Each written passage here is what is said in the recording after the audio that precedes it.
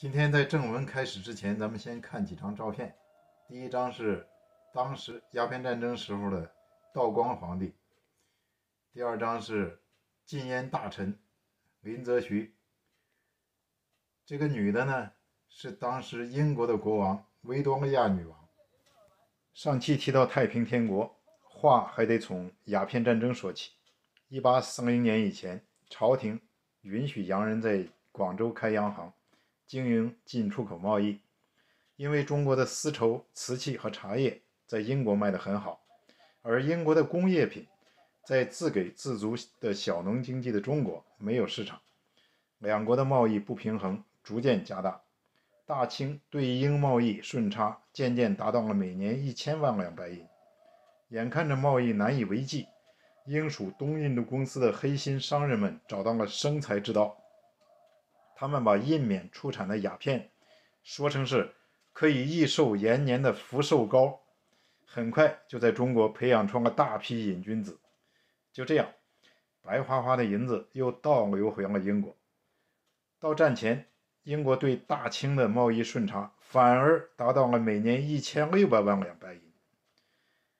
眼看着国无可以扛枪之兵，国库没有可用之银，朝廷非常担心，于是就派钦差大臣林则徐到广州禁烟。林大人虽为近代中国开眼看世界第一人，但也不知道经历了光荣革命和第一次工业革命的大英帝国的实力。他断然采取霹雳手段，派兵包围洋行，收缴了价值八百万两白银的鸦片，在虎门销毁。道光帝得报后，问英仪会不会对大清开战？林大人信心满满的回奏说。英仪断然不敢对我天朝用兵，他们知道，如果来犯，我必断其茶叶和大黄。彝人喜食生肉，没有茶叶、大黄助消化是活不了的。道光帝龙颜大悦，决定不仅禁烟，干脆断绝了与英国的贸易，以绝后患。消息传回英伦，英议院以几票之差，微弱多数通过了对华用兵的议案。维多利亚女王以维护自由通商为名，对大清帝国开战。历时两年，大小百余战，英军战无不胜，攻无不取。大清国官民一心，同仇敌忾，奋勇抗击。定海三总兵王锡鹏、郑国鸿、葛云飞血溅城头，各地一百四十余位守土官将捐躯报国。兵民伤亡难以计数，不可谓不勇。无奈技不如人。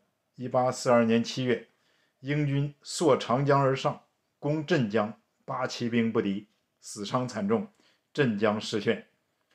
对岸的扬州惶恐，筹集五十万两白银送给英军，换其不占据扬州。南北漕运被切断。眼见大势已去，道光帝大呼。林则徐办事不力，误国误政啊！于是将其革职，发配新疆，派太子少保齐英为钦差大臣，与英方议和。八月二十九日，双方在南京下关江面，英舰汉丽华号上，汉华丽号上正式签订《南京条约》。之后又签订了中英虎门、中美望厦、中法黄埔等条约。使国门洞开。